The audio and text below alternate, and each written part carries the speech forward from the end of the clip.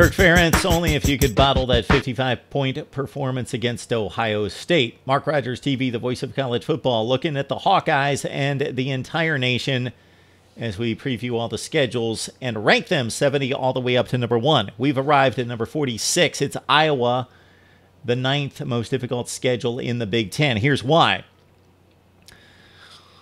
Well, Iowa is not going to be benefiting from much frequent flyer mileage this season out of conference. They've got Northern Illinois at home, then they stay at home against Iowa State, then they travel all the way to Northern Iowa.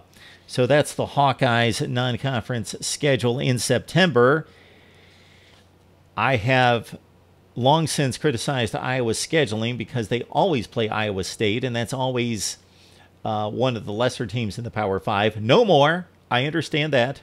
The Cyclones stepped it up last year and should be roughly just as good this year. So that's a difficult game, even at home for Iowa. It was an overtime win last year uh, at Iowa State. So Northern Illinois, no cakewalk. That's going to be a difficult game out of the box. Group of five MAC game at home against NIU. Northern Iowa should be a win, of course. If it's not, then Iowa's probably in trouble, although the Hawkeyes have given us seasons in which they lose to the lesser teams and beat the better teams. So that's the non conference. Then Wisconsin to open up Big Ten play in a key, key matchup at home. Iowa, of course, has to win that game if it has any hopes of winning the Big Ten Western Division. Northern Illinois, Iowa State, Northern Iowa, and Wisconsin actually might be the toughest stretch of the season right out of the gate, the first four games for the Hawkeyes. Who do they play out of the Big Ten Eastern Division? That's always key.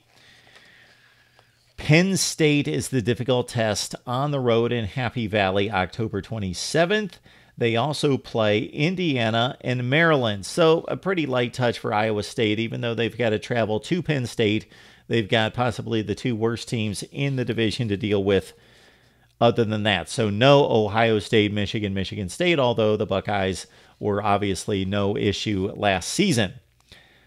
Iowa takes on the Western Division of the Big Ten. Of course, it's one of the lesser divisions uh, roughly in the nation, and uh, Penn State to deal with outside of the conference. So, Wisconsin, Penn State, those are the big games for the Hawkeyes, of course, this season. Uh, Northwestern not going to be um, a cakewalk as well as Purdue. And uh, they finish up with Nebraska, as always, this time at home on November 23rd.